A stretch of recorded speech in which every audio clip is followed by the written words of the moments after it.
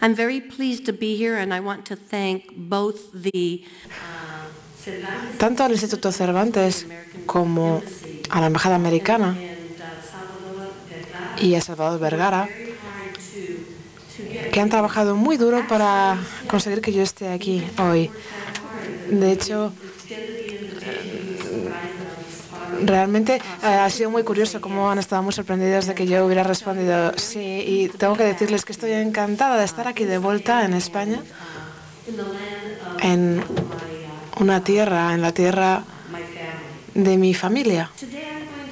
Hoy voy a hablar acerca de el tema de las librerías y el tema general es este, las librerías y qué vamos a las bibliotecas y qué vamos a qué estamos haciendo en España en Estados Unidos. También voy a hablar acerca de esto, por tanto, bibliotecas y voy a compartir con ustedes la perspectiva norteamericana. También vamos a hablar de mi perspectiva no solamente como una como parte de un equipo de bibliotecarios de la universidad como decana, sino también como la presidenta de la American Library Association. Lo que me gustaría hacer y lo que normalmente suelo hacer cuando doy una charla es realmente eh, tener alguna idea de cuál es la audiencia hoy. Así que, por favor, si pudierais, si pudieran ustedes levantar la mano acerca de cuántos de ustedes están trabajando en, en bibliotecas públicas aquí en España. Sí, bien. En bibliotecas académicas,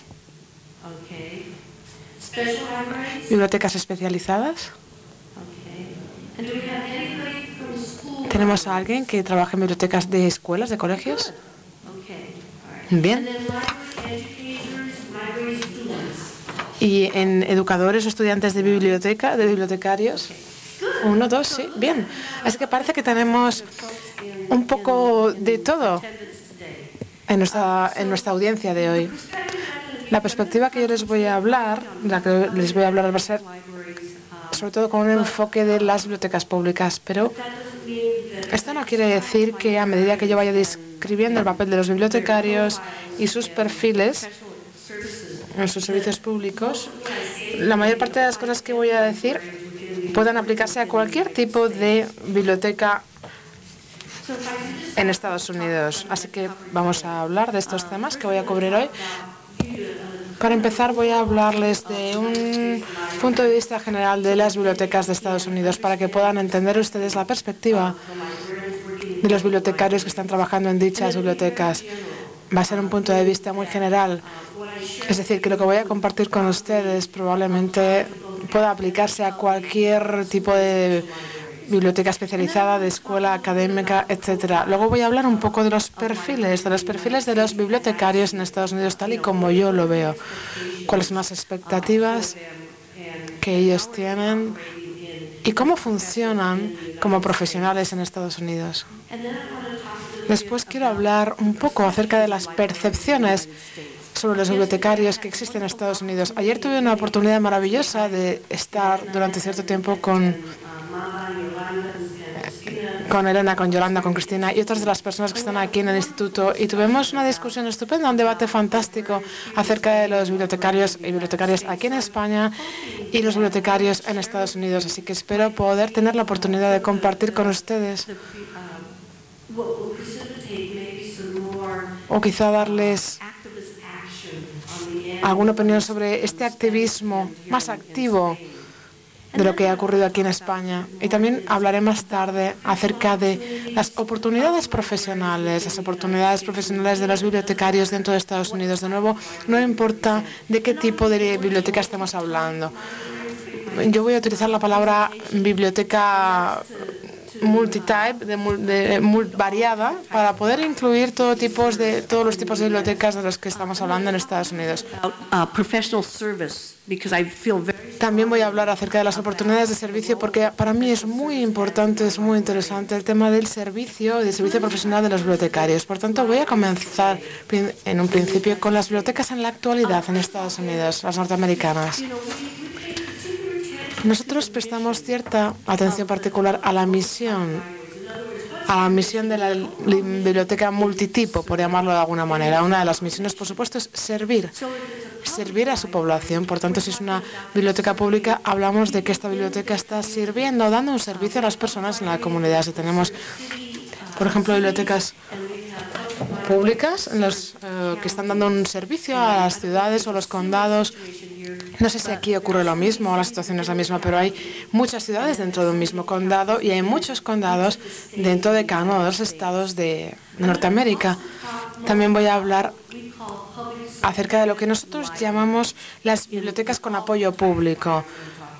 Esto ocurre en, todo, en, todos los tipos de bibliotecas de los que estamos hablando. Esto quiere decir que están apoyadas por uh, los dólares fiscales, es decir, por los dólares de la contribución, de los impuestos, los dólares que yo pago, que más personas en mi comunidad pagan para dar un apoyo, respaldar a las bibliotecas públicas.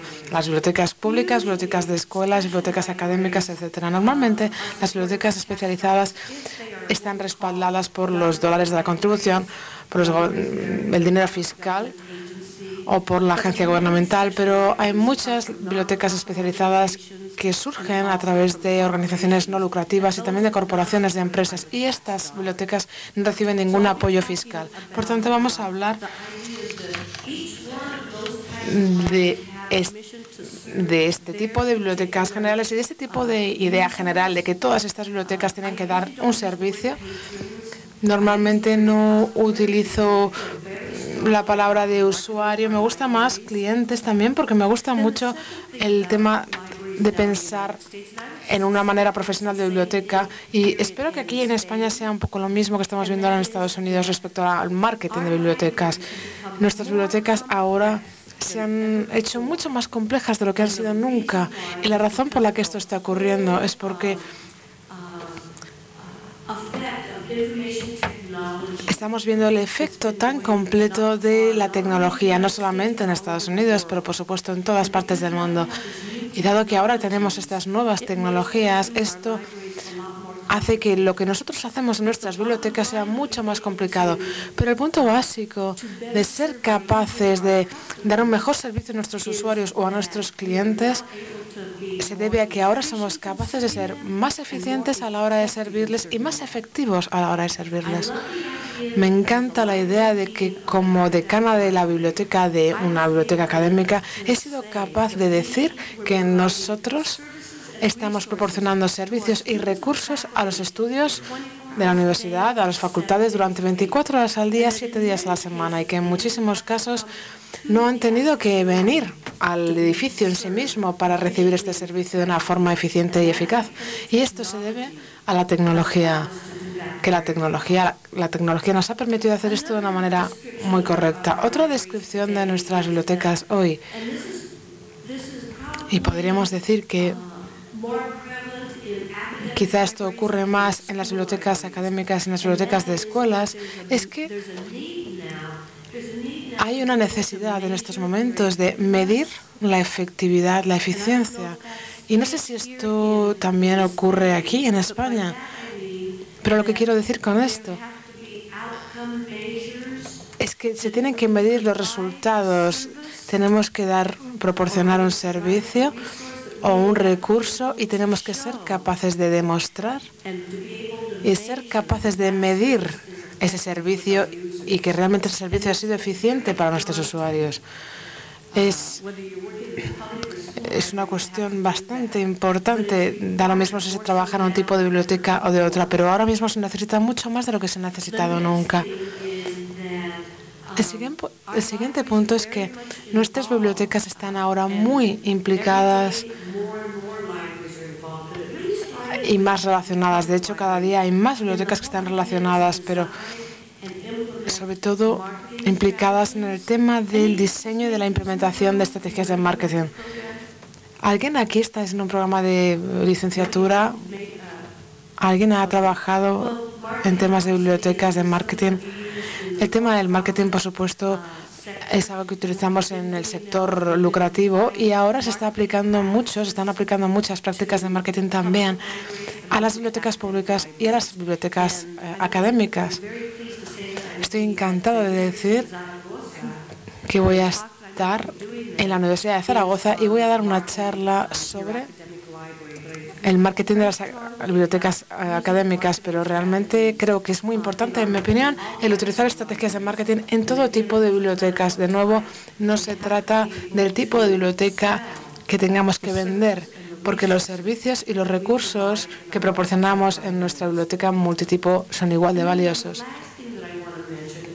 El último punto que quería mencionar es que en Estados Unidos y no importa si hablamos de una escuela específica o especial o académica, lo que sí que es cierto es que tenemos que trabajar muy duro y lo hacemos constantemente en términos de colaboración, cooperación y asociacionismo con otro tipo de, de bibliotecas. Por tanto, si ustedes leen cualquier tipo de literatura, cualquier tipo de documentación acerca de los consorcios o de las asociaciones, de las alianzas que han creado las bibliotecas, vemos que la idea básica en todo esto es que no tenemos suficientes fondos para trabajar de forma individual y conseguir todo lo que queremos conseguir. Así que lo que estamos haciendo es crear estos consorcios o estas alianzas con miembros, con estatutos, establecemos las cuotas y cuando formamos parte de esto, creamos estas asociaciones con, colaboracionismo. Y la idea básica es obtener más recursos y ser capaces de, de comprar una, una base de datos muy, muy cara o ser capaces de dar un servicio mucho más caro o ver si somos capaces de crear o de construir un edificio que nos permita que nos permita tener una serie de recursos que no podríamos tener si fuéramos de forma individual. Por tanto, este último punto del que les estoy hablando es que es algo que ha estado ocurriendo desde hace un tiempo, pero sobre todo ha adquirido más importancia ahora porque, igual que en cualquier otra parte del mundo, estamos pasando por una recesión económica muy importante y tenemos que sacar lo máximo de nuestro dinero y no solamente de los recursos financieros, sino también de los recursos humanos, de los recursos de información y de los recursos materiales para poder ser capaces de utilizar mejores, mejor nuestros recursos y ser capaces de dar mejor servicio. Porque recuerden que una de nuestras misiones es dar servicio a nuestros usuarios y no importa del tipo de biblioteca que estemos hablando. Por tanto, vamos a pasar a la siguiente idea que es la de los perfiles de los bibliotecarios norteamericanos tal y como yo los veo. Uno estaría muy sorprendido, aunque probablemente ustedes no lo estén, porque ustedes ya han dedicado tiempo a esto y es muy común en todas las bibliotecas en el mundo entero. Pero el primer punto sería las expectativas porque nosotros queremos que nuestros bibliotecarios sean capaces de conocer y de entender el comportamiento y las necesidades de los usuarios y probablemente para, para aquellos de ustedes que estén trabajando en estas bibliotecas para estudiantes es realmente algo esencial en nuestra profesión. Y si pudiera decir otra palabra acerca del marketing, cuando consideramos el mundo de las necesidades, tenemos que ser capaces de preguntarles qué necesitas, qué quieres. Por tanto, mi expectativa como, como una administradora de bibliotecas de alto nivel es que todas las personas que trabajan en mi biblioteca sepan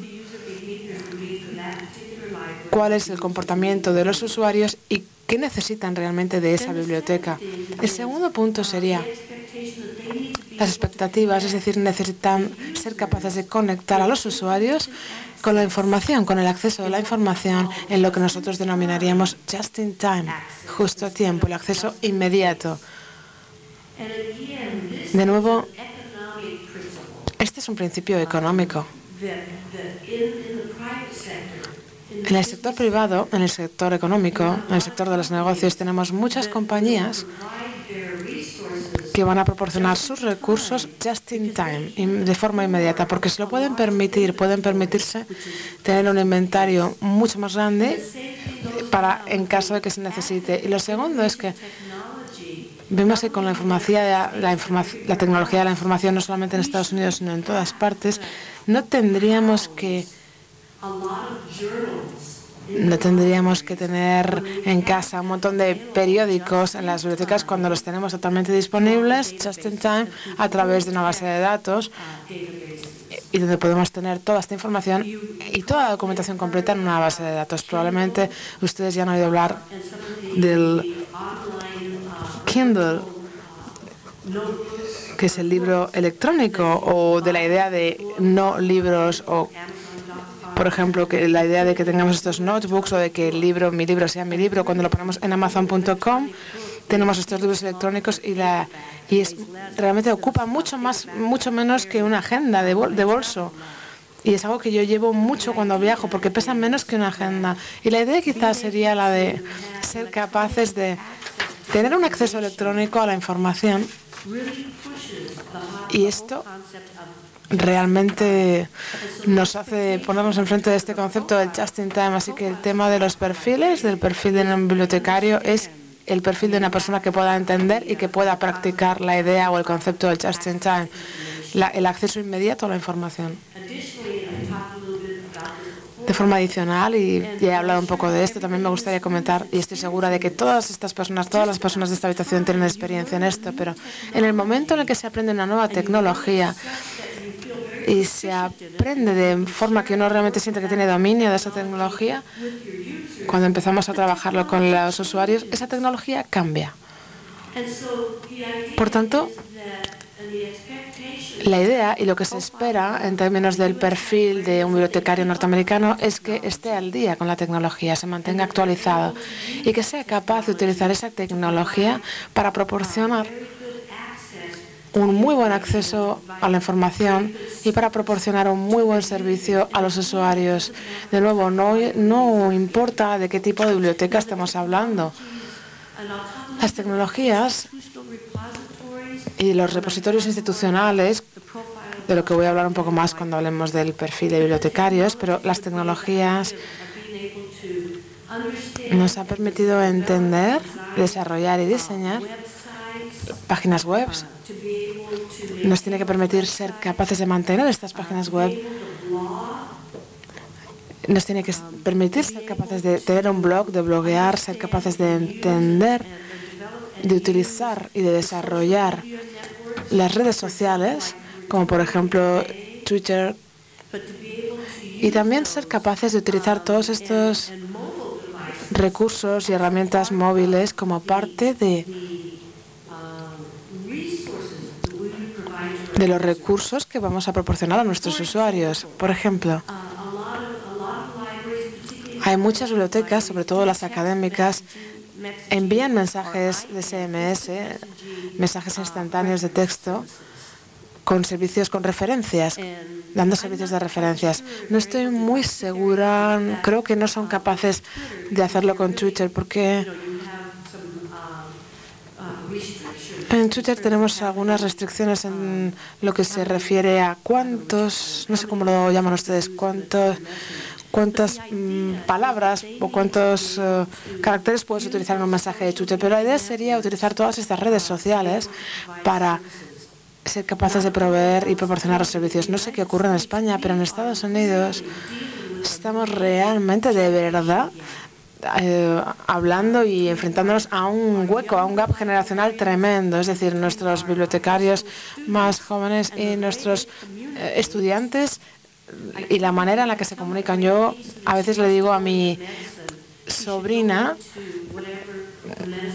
a mi nieta, sobrina nieta, que cuando vaya a estudiar tiene que realmente aprender a utilizar los dedos de una manera bueno, va a ser realmente impresionante lo que va a ser capaz de hacer con sus dedos, porque dentro de 20 años va a tener una habilidad con los dedos tremenda. Así que es toda esta idea de que los bibliotecarios tienen que ser capaces de entender toda esta tecnología, y esto es muy crítico en el perfil.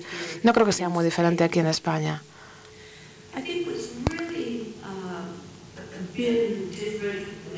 Creo que quizá lo que sí que ha sido diferente, sobre todo cuando hablamos del tipo de estereotipo de bibliotecario, antiguamente, es que los bibliotecarios se han convertido en bibliotecarios porque no tienen buenas habilidades de comunicación. Pues eso no es cierto. No era cierto antes y no lo es ahora.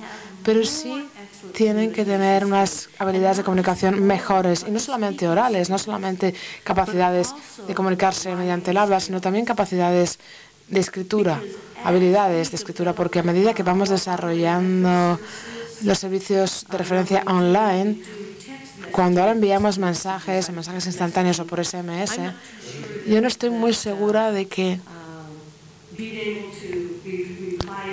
sean el ser capaces ser capaces de responder un mensaje tan incompleto sea tan importante, pero sí que es cierto que me gustaría contratar a bibliotecarios que tengan buenas capacidades de comunicación. Me gustaría que fuesen capaces no solamente de comunicarse con sus colegas dentro de la, biblioteca, sino ser capaces de comunicarse también con las personas de la universidad en la que están trabajando y ser capaces de comunicarse con los estudiantes. Creo que no hace falta que diga que realmente parte del perfil sería que fueran unas personas totalmente orientadas al servicio al cliente. Ya no podemos no darle importancia a esto porque hay muchísima competitividad ahora para los servicios de información. Ya no somos los únicos que damos el servicio dentro de la ciudad como biblioteca académica y hasta cierto punto realmente las bibliotecas de las escuelas, de los colegios se están convirtiendo en bibliotecas especializadas. Y antes de hacer nada, la gente entra en Google. Así que tenemos que tener una actitud muy orientada al servicio del cliente. Cuando yo he hecho entrevistas con, eh, con las personas que me informan y les preguntaba, por ejemplo, hace 10 años, ¿cómo era el hecho de ser un bibliotecario? Yo utilizo siempre este tipo de frase y es que tú ahora puedes ir a Google y encontrar 50.000 entradas sobre un tema específico, pero hace falta un bibliotecario para que sepas cuáles son las más importantes, las más relevantes y para dar realmente en el clavo. Así que creo que a eso se refiere cuando decimos que tienen que tener una actitud muy orientada al servicio del cliente. El siguiente punto es algo muy importante para mí y es que hay que ser creativos, que realmente tienen que ser personas muy innovadoras y tienen que pensar constantemente, sobre todo en estos momentos en que tenemos que estar inventando e imaginando acerca de cómo utilizar las tecnologías en nuestros recursos. Es decir, esa pregunta de qué pasaría si tiene que ser una persona que sea capaz de hacerse esa pregunta. Sobre todo ahora que los servicios se ofrecen en términos de tecnología de la información y que ahora sí fueron diseñados originalmente por los bibliotecarios. Y ahora el mercado y las compañías que compran ese software específico o ese programa específico están comprando programas que ellos hicieron. Por tanto, mis expectativas serían de tener a personas creativas, pensadores creativos y bibliotecarios muy innovadores. Y el último punto sería el ser capaces de maximizar el tiempo. Y sobre todo en estos momentos, de nuevo, por el tema de la tecnología. No se trata solo de que tengamos personas que vayan a estar online dentro de la base de datos de la biblioteca para poder acceder a servicios o para poder acceder a materiales o a recursos que necesiten. Ahora tampoco tenemos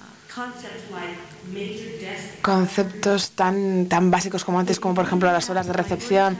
Ahora realmente los bibliotecarios tienen que ser capaces de maximizar el tiempo, el tiempo que utilizan, para poder ser capaces de trabajar con sus usuarios.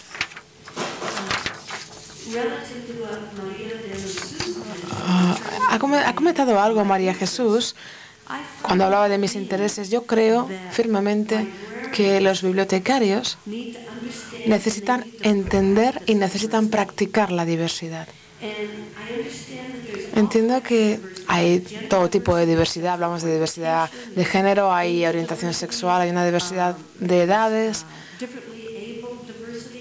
hay una diversidad en la relación con las capacidades, pero de lo que yo estoy hablando ahora es la diversidad en las generaciones étnicas, porque ahora mismo en Estados Unidos hay, un, hay más de un tercio de nuestra población total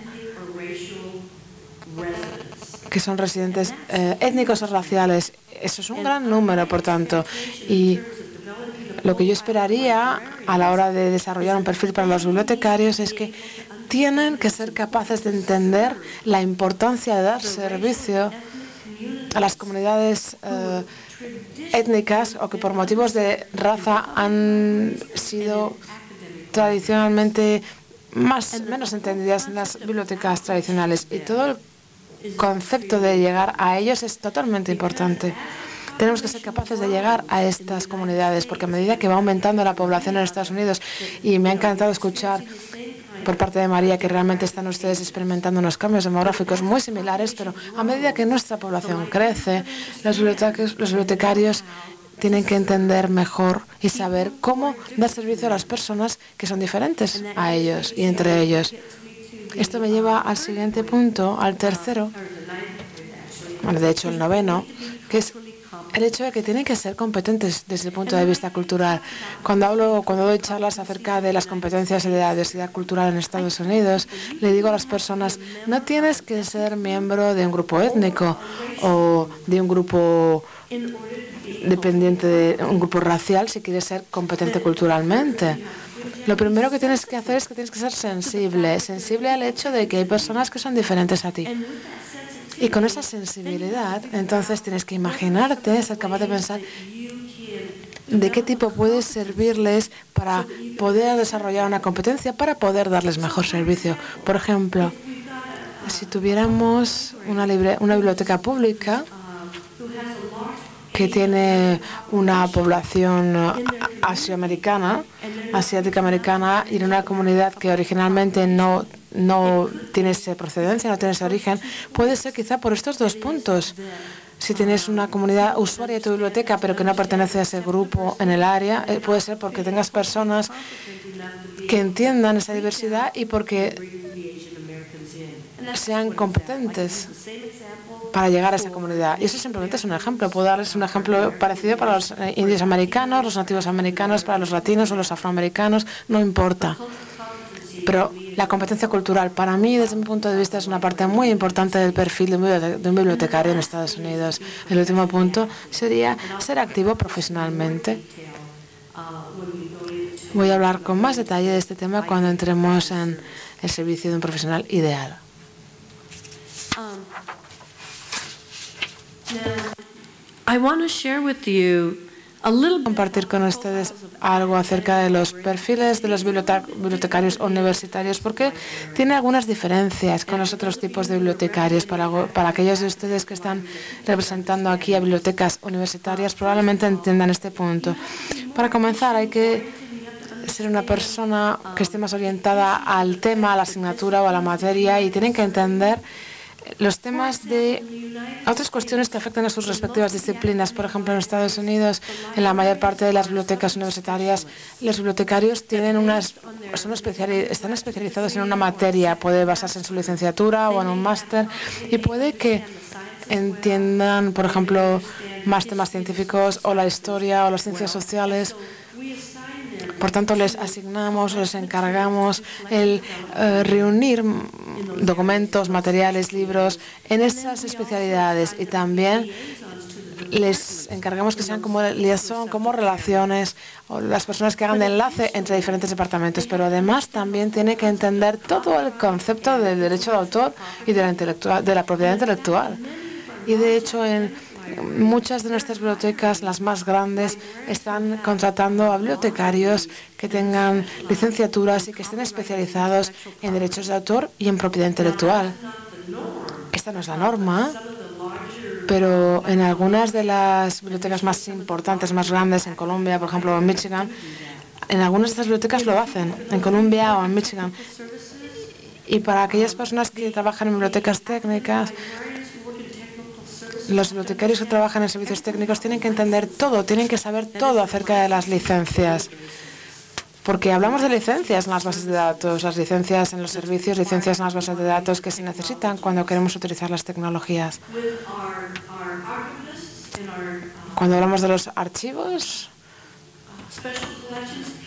y de personas que trabajan en colecciones especiales, tienen que entender todo el mundo todo, todo lo que se refiere a la digitalización y de la digitación, porque la mayor parte de los proyectos de digitación que estamos haciendo ahora en nuestras bibliotecas comienzan con el tema de digitar. Las fuentes originales en nuestros archivos y en nuestras bibliotecas especializadas. Y, por tanto, el último punto también es importante, que sobre todo se da en las bibliotecas académicas, y es que tienen que entender todo lo que se refiere a las alternativas a la comunicación académica tradicional.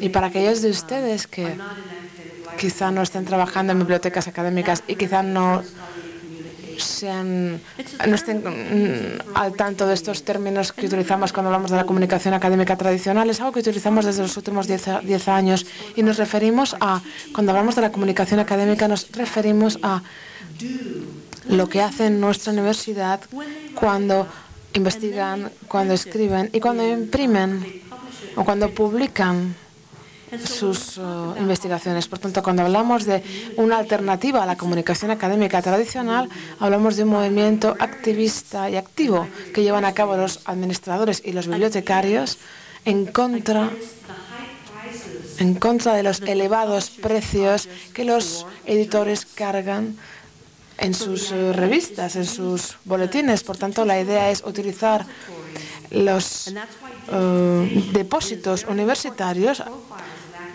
y por eso es muy importante en los perfiles de los académicos la digitación, porque es cuando estamos estimulando la enseñanza en los campus para publicar hacer, o sea, publicar realmente sus investigaciones en estos depósitos. Así que todo el concepto de la comunicación académica es muy importante dentro de nuestras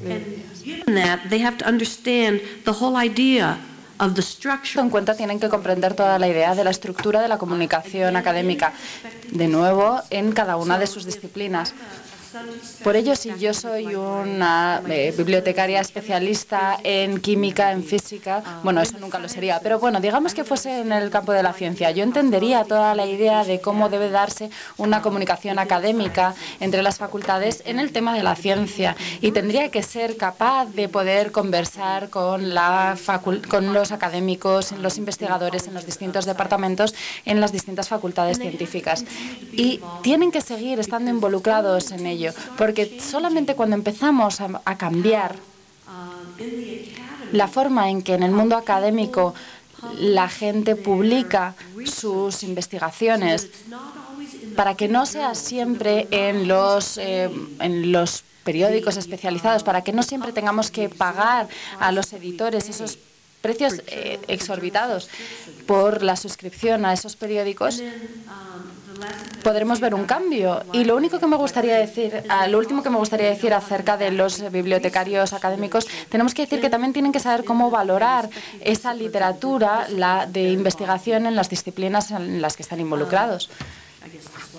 Supongo que ese no era el último tema que quería decir, pero también tienen que ser consultores y tienen que proporcionar servicios de consultoría. Y lo que quiero decir con esto es que, dado que nosotros estamos proporcionando gran parte de los recursos y de los servicios online, eso les libera, libera a los eh, bibliotecarios y pueden pasar más tiempo con los estudiantes, con los estudiantes de doctorado, de postdoctorado, con la gente que forma parte de la facultad para ayudarles a realizar su investigación y no solamente tener unas transacciones de uno a uno desde, eh, nuestro, desde nuestro puesto en la biblioteca. Tienen que ser también profesores efectivos y esto tienen que ser eficaces ahora mismo. Y esto es algo que está empezando a tener, tener un impacto en todos, en todos los artículos y en todas las instrucciones que se dan en las bibliotecas. Y esto está llegando a las bibliotecas públicas. Hemos estado haciendo esto durante mucho tiempo y me da la sensación de que ya se ha hecho aquí también en las, en las bibliotecas académicas en este país. Pero ahora, ahora que ya llevamos tiempo haciéndolo, que llevamos décadas haciéndolo, ahora la idea es conseguir que esta información esta información, estos componentes eh, de información se puedan incluir en los currículums de, nuestros, de nuestras facultades, de nuestras universidades. Así que dejadme que pase a las percepciones de cuál es la percepción de los bibliotecarios en Estados Unidos. Tuvimos un debate estupendo ayer al respecto. Bien, hay un motivo por el que quería presentarles a ustedes cómo son las bibliotecas en Estados Unidos para que pueda haber un punto de comparación, para que podamos comparar. Y al hacer esto, no estoy queriendo que ustedes piensen que, lo que estoy diciendo es que lo que hacemos en Estados Unidos sea perfecto. Pero sino que la idea es que en la mayoría de los casos En general, las bibliotecas son bastante valoradas en Estados Unidos, las públicas, las académicas, las de los colegios y las especiales.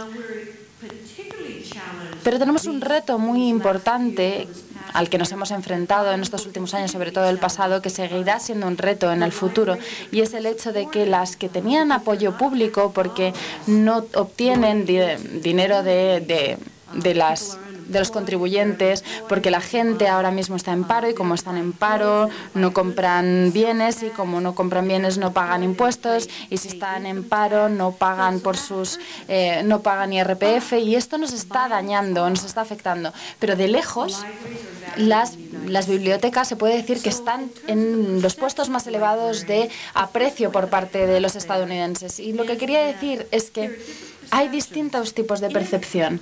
Si la persona no es usuaria de las bibliotecas, es decir, que nunca han utilizado las bibliotecas públicas, no han estado en una biblioteca académica, entonces siguen teniendo una visión muy estereotipada de lo que es un bibliotecario. A lo largo de mi carrera, bueno, en realidad me he calmado un poquito a la hora de vestir y peinarme, pero en mi carrera, a lo largo de mi carrera, me decían, ¿sabes qué? No pareces una bibliotecaria. Y eso me decía de forma inmediata que no iban a la biblioteca. Yo decía, bueno, ¿cuándo fue la última vez que fuiste a una biblioteca? Porque siguen teniendo ese concepto de, de una señora que lleva, que lleva un moño y que, y que suelen decir y que todo lo que hacemos las bibliotecarias es leer. Esos son los no usuarios. Y hay muchos que siguen teniendo esa percepción estereotipada de lo que es un bibliotecario. Y también están aquellas personas que a lo mejor no valoran a los, a los bibliotecarios. Pero si llegamos a los usuarios, y de nuevo, no importa el tipo de biblioteca del que estemos hablando, los usuarios tienen una percepción positiva de sus bibliotecarios, ya sean eh, bibliotecarios públicos o académicos, una biblioteca de colegio o especializada, porque entienden el papel que nosotros tenemos, no solo proporcionándoles información, sino también haciendo haciendo que se conviertan en personas que aprenderán a lo largo de toda su vida para que ellos sepan cómo utilizar información saber cómo acceder a esa información en cualquier tipo de biblioteca y además sabrán cómo valorar esa información. Sabrán cuál es información buena y cuál es la información que no es tan buena. Gracias a esos recursos que les damos tanto en la biblioteca como online. Por eso la percepción de los bibliotecarios por parte de las personas que sí utilizan las bibliotecas suele ser bastante positiva en todo el país. El otro tema es que también que los valoran por su eh, por su experiencia, por su profesionalidad. Es impresionante, incluso cuando yo llamo a mi bibliotecario público o cuando era decana llamaba al eh, llamaba a la gente de información porque necesitaba información acerca de un artículo que estaba escribiendo, me solía llamar la atención llamar la atención lo bien que respondían los bibliotecarios a las preguntas de investigación y lo, profundas que eran sus eh, respuestas. Por eso la percepción en general de los, de los bibliotecarios es muy positiva en Estados Unidos y podemos hablar un poco más al respecto si tienen alguna pregunta que plantearme durante la parte del debate. Y ahora voy a entrar en la última parte de mi presentación. Y esta parte trata acerca de las oportunidades profesionales para los bibliotecarios. Y en primer lugar, en la, eh, en la educación de alas, es decir, la, la, educación que proporcionamos para que la gente se convierta en bibliotecarios, consideramos que es muy importante que sepan que su papel es muy importante en Estados Unidos y supongo que lo mismo sucede aquí. Nosotros, nosotros en la MLS seguimos, el MLS sigue siendo el el tipo de educación máxima para los bibliotecarios y es muy importante darle, es muy importante entender que tienen que tener ese, esa titulación para ser un bibliotecario en práctica. Pero eh, a diferencia de España, cuando tenemos ese, esa licenciatura, ya somos, ya, podemos tratar de conseguir cualquier trabajo. No hay una especie de examen de competencia para convertirse en un bibliotecario profesional. Y otra de las cosas que es muy importante es la educación continuada. Y me gustaría distinguir entre la educación continuada y el desarrollo profesional. Cuando hablo de la educación continuada, me refiero a lo que proporcionamos a los bibliotecarios después del MLS. Y hay muchas educaciones continuadas, muchas oportunidades de educación continuada que proporcionan las bibliotecas de colegios o que proporcionan las asociaciones estatales y las, las, las asociaciones nacionales. Y esto es muy importante. Y creo que es similar en, su país también. Por ejemplo, el hecho de que estén ustedes aquí, para mí, se incluye dentro de esta próxima categoría de oportunidades profesionales. Y esa es la idea de desarrollo profesional, de oportunidades de desarrollo profesional. Hoy en día, o sea, lo que estamos haciendo hoy es una oportunidad de desarrollo profesional. El hecho de poder escuchar a mis colegas, mis, mi, el hecho de poder tener un debate al final de esta conferencia, de poder hablar entre todos.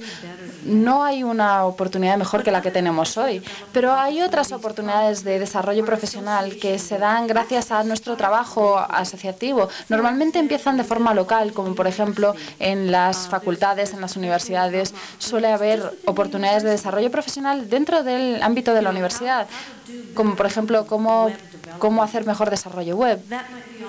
Eso lo puede ofrecer por ejemplo, el departamento de TI de la universidad o en, en el ámbito de la universidad. También hay oportunidades de desarrollo profesional estatales en las asociaciones estatales en Estados Unidos y no estoy familiarizada con la estructura. Bueno, puede que sea una de las cosas de las que no hablamos ayer. No estoy eh, familiarizada con su estructura estatal aquí en España, pero en Estados Unidos todos los estados tienen una asociación estatal. Y, esos, y los 50 estados más Puerto Rico y Guam, esas organizaciones se convierten en capítulos dentro de la Asociación de Bibliotecas Americanas y hacemos conferencias anuales y ahí podemos proporcionar programas sobre distintos temas. La gente mm, propone temas para crear, por ejemplo, un programa sobre Web 2.0 o un programa sobre sobre eh, redes sociales, servicios de redes sociales. Esos son, esas son oportunidades de desarrollo profesional. Y lo mismo sucede eh, a nivel nacional. La Asociación de Bibliotecas Americanas, ALA, no es la única asociación de bibliotecas profesional. Hay otra de los archivistas, hay otra eh, para las bibliotecas especiales, otra la de las bibliotecas médicas, está la Asociación de las Bibliotecas de las Escuelas. Hay un montón de asociaciones y todas ellas proporcionan oportunidades de desarrollo profesional, no solamente en las conferencias nacionales, sino que también proporcionan eh, seminarios web. Así que se puede, por ejemplo, se puede, por ejemplo, eh, hacer una formación de una hora acerca de cómo hacer marketing exitoso online, lo podemos hacer online metiéndonos en una página web y hacemos un seminario web. Es un seminario interactivo, no nos cuesta nada. Hay, ese, eh, hay que pagar por ello a lo mejor, pero no tenemos que viajar para hacer este seminario. Y nosotros consideramos que las oportunidades de desarrollo profesional son muy importantes y por eso proporcionamos esas oportunidades a nuestros bibliotecarios para que se puedan involucrar en distintos campos. Y después es lo que yo considero formación más compleja, así lo llamo yo. Y todo esto tiene que ver con los sistemas, con los con las tecnologías de información. Pero cuando hablamos de formación compleja, tenemos que pensar, por ejemplo, en pasar todo un día haciendo un taller o tres días haciendo un taller sobre temas de copyright, de propiedad intelectual para que los bibliotecarios entiendan el concepto de, de propiedad intelectual y de copyright. Esos son el tipo de cosas que consideramos que son muy importantes, en las que invertimos mucho. Obviamente fomentamos el hecho de que nuestros bibliotecarios se involucren en su trabajo asociativo. Y Y lo que yo fomento realmente y lo que fomentamos desde ALA es toda la idea de eh, tutelar, de proporcionar apoyo a los jóvenes, porque hay 11 divisiones principales en la Asociación Americana de Bibliotecas y esas divisiones se, eh, se separan por los tipos de servicio o de biblioteca. Por ejemplo, está la de la Asociación de Referencias y de Usuarios, eh, hay otra asociación de bibliotecas públicas, otra de bibliotecas de investigación, pero la idea es que esas distintas divisiones que muchas tienen programas de tutelaje, de, tutelados, y yo he trabajado eh, como bibliotecaria y me, y me comprometo a trabajar en uno de esos programas de tutelado donde jóvenes bibliotecarios que puedan estar interesados en las bibliotecas académicas trabajen conmigo y yo seré su mentora durante toda su carrera. Y he de decir que esto es una forma maravillosa de alguna forma, de alguna forma crear ese puente entre, eh, entre las diferencias generacionales, entre los mayores y los jóvenes, entre los que denominamos baby boom y los más mayores. Es nuestra forma de devolver a nuestra profesión parte del apoyo que recibimos y parte es una forma de proporcionar ayuda a los jóvenes bibliotecarios, pero esta también es una oportunidad de desarrollo profesional para nuestros jóvenes bibliotecarios no son solamente bibliotecarios jóvenes, porque muchas veces tutelamos a bibliotecarios que son de, nivel medio o de los, o de los que están en, situaciones más elevadas que quieren llegar a posiciones de administración. Y puedo decirles que dentro del mundo de bibliotecas académicas hemos obtenido eh, programas muy buenos, muy fuertes, a los que les llamamos eh, planificación de éxito. Y lo que vemos es que aquellos que están al nivel medio no quieren, no quieren ser administradores en sus, eh, en sus bibliotecas porque les parece un lío. Y el otro tema del que quería hablar es el servicio profesional. Y ahí es donde ALA y las, las asociaciones estatales tienen un papel importante. Los servicios profesionales se enmarcan dentro de los servicios en las bibliotecas. Es decir, cuando, por ejemplo, alguien eh, pide eh, actuar de forma voluntaria en un, en un grupo de trabajo o en un comité, yo le pido a la gente que sí, que lo hagan, les animo a hacerlo, porque hay muchas ventajas a la hora de trabajar de forma voluntaria, porque puede que aprendamos más acerca de un tema del que no conocíamos o podemos contribuir en un grupo de trabajo, podemos desarrollar una red más importante porque estamos en comités o en grupos de trabajo con personas a las que no conocíamos con anterioridad. Y lo mismo pasa con el servicio profesional dentro de las organizaciones matrices, por ejemplo, estar, por ejemplo, en el ayuntamiento o con la universidad, o puede ser con una empresa o una o una agencia gubernamental o una o simplemente una institución matriz. Pero la idea de eh, ofrecerse voluntario para trabajar en comités, en esos grupos, es parte de los servicios profesionales. Y se obtienen beneficios, se obtienen muchos beneficios. Nuestros bibliotecarios se benefician de ese trabajo y también trabajar con las asociaciones estatales y regionales. Recuerden que tenemos más de 50 asociaciones estatales y hacer que ellas se involucren con, hacer que los bibliotecarios se involucren, involucren con las asociaciones estatales es muy positivo y yo lo fomento y obviamente las asociaciones nacionales como ALA y como algunas de las divisiones nacionales. El servicio profesional para mí es algo que queremos fomentar con nuestros bibliotecarios y queremos que se unan a las asociaciones que sean más cercanas a su trabajo y que les puedan ayudar a tener éxito en su trabajo. Por eso, por ejemplo, los bibliotecarios públicos podrían unirse a ALA y desde ALA podrían unirse a la Asociación de Bibliotecas Públicas, por ejemplo. Y nosotros fomentamos este tipo de contactos y no lo hacemos solamente porque eso es lo que nos mantiene en vida, porque eso es lo que hacemos, hacer que haya nuevos miembros, sino porque también proporcionamos un muy buen servicio a nuestros bibliotecarios toda la idea, dado que yo fui la única, yo fui la primera latina votada para ser representante de ALA por el hecho de que crecí en esa asociación y desarrollé mi liderazgo y mis competencias de liderazgo y mis, capacidades y habilidades involucrándome en mi asociación estatal e involucrándome en ALA dentro de las distintas divisiones y dentro de la estructura general de la Asociación de Bibliotecas Americana. Así que lo que he hecho ha sido de nuevo proporcionarles una serie de perfiles de las bibliotecas americanas y los perfiles de las bibliotecas en Estados Unidos y la percepción de los bibliotecarios en los Estados Unidos y por último algunas ideas acerca de oportunidades profesionales. Y ahora me gustaría realmente escuchar lo que tienen que decir mis colegas acerca de sus temas en particular. Muchísimas gracias. Estoy esperando sus preguntas. Muchas gracias.